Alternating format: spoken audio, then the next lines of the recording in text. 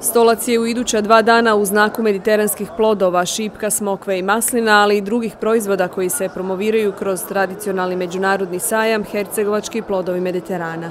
Imam širu paletu, znači iskorištavam isključivo autoktone sorte voća, znači njegujem, uzgajam, iskorištavam i ono što se pronalazi u mom okruženju, znači na obronocima vlašća, od ljeko bilja, šumskih plodova i tako dalje. Tu su rukotvorne plodovi animalnog porijekla. U poslednje vrijeme fokus stavljamo na proizvodnju proizvoda od fermentisanog bijelog luka.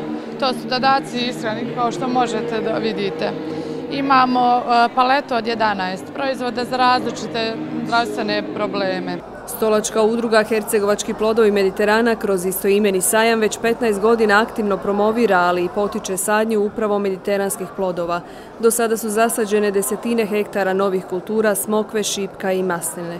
Ovo je e, jedan, jedan, jedan potica, jedno guranje, da kažem, ljudi da, da, da nešto od svojih ruka naprave i ovaj, da, da, da danas, sutra i naprave svoju neku egzistenciju. Posle 15 godina danas svjedočimo da mi više pričamo o nekim novim nasadima i imamo li prostora za nove nasade, da smo dostigli jedan vrhunac kada se tiče i smokve i šipka i masline i da se polako okrećemo ka agroturizmu, da se okrećemo sa ovim našim domaćim brendom koji želimo ponuditi svima koji posjete stolac.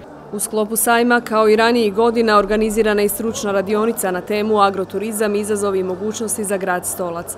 Inače, sajem je zaslužan i za pokretanje uljare u Stolcu, u koju ovih dana pristižu maslinari iz cijele Hercegovine na preradu maslina.